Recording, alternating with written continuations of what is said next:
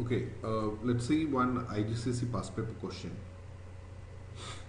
A plane whose speed in still air is 240 km per hour flies directly from A to B, where B is 500 km from A on the bearing of 32 degrees true, true bearing. There is a constant wind of 50 km per hour blowing from west Find the bearing on which the plane is steered and find to the nearest minute the time taken for the flight. So here, what are the informations given? The first one is the speed of the plane the air that we can write uh, velocity of the plane with respect to the wind that is 240 km per hour and the velocity of the wind also given that is 50 km per hour. The distance from A to B is 500 and it makes the bearing of 32 degrees. So let's take this is the north line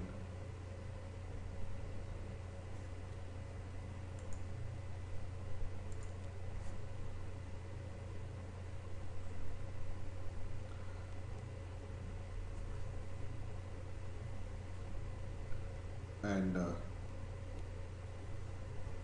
the flight is moving from A and A to B the distance is given which is 500 the distance is 500 and this represents the velocity of the plane that is Vp given W which is 240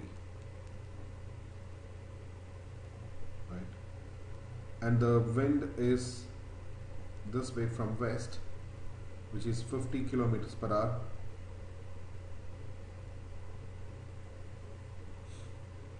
Alright? So now this bearing is given. The total bearing is 32 degrees. The total bearing is 32 degrees. If, if, you, if you make a north line over here from north line to this angle is 32 degrees. So from this north line to this the same line would be 32 degrees. This also would be 32 since this is from west the full angle is 90 90 minus 32 has to be 58 degrees. So we found one this angle. And we know the full angle now we got a small triangle non-right angle triangle. Here you know this side is 240 it's like this. You have this is 58 240 50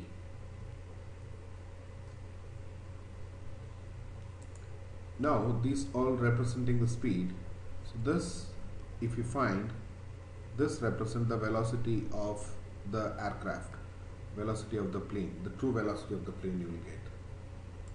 Let's do the calculation.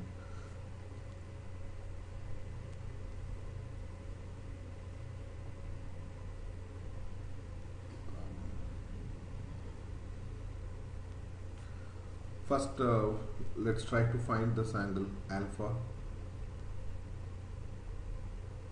the whole angle is 32 degrees and we have to find the small angle. Can use sine rule here? Sine alpha by 50 is equal to sine 58 upon 240 which gives alpha equal to 10.2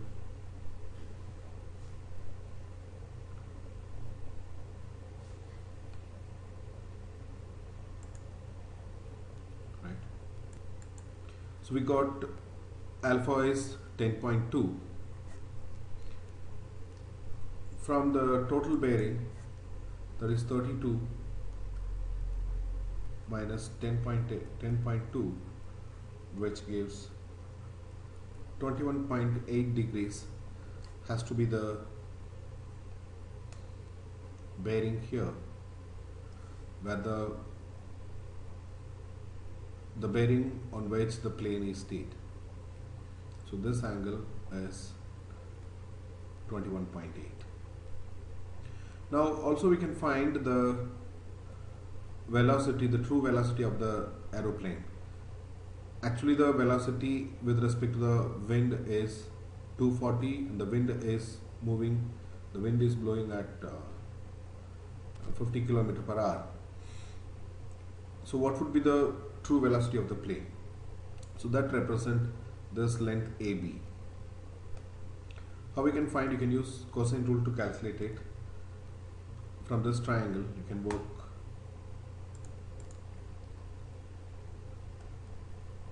v square is 240 square plus 50 square minus 2 into 240 into 50 into. So we use 2 240 square 50 and you need to find this angle. This angle is nothing but 180 minus 58 minus alpha. Right? So you can write uh, cos of 180 minus 58 minus alpha.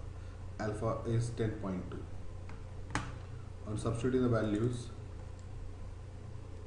you can get v is 263 that is the true velocity of the plane is this kilometers per hour.